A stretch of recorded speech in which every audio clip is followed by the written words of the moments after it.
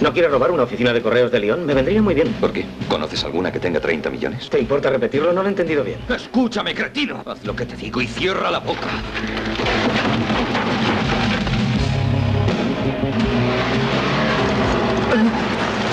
¿Estás bien? Sí.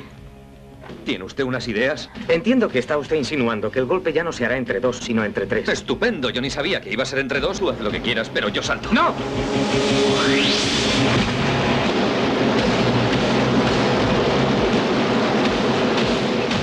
El primero que llegue arriba gana.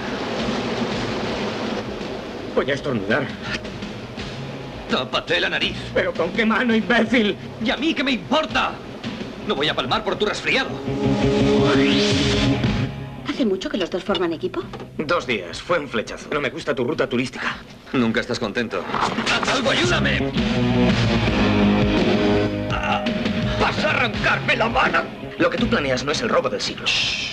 Es la idiotez del año. ¿Qué clase de material? ¿Un ordenador? ¿Un escáner? ¿Para qué? Yo programo un ordenador. Es un trabajo mental y necesito tranquilidad. ¿Aclarado? No entiendo nada, pero aclarado.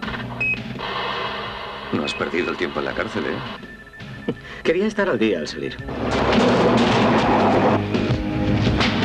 ¿Por qué le eligió a él? Porque es un especialista, ¿no?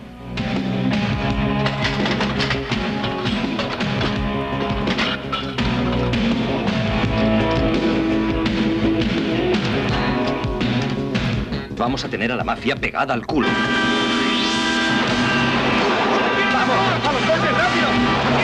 ¡Voy a destrozaros!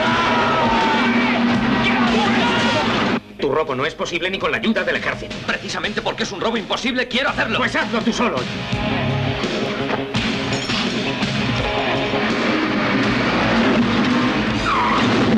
Era un golpe imposible y lo consiguieron. No ha podido ir mejor.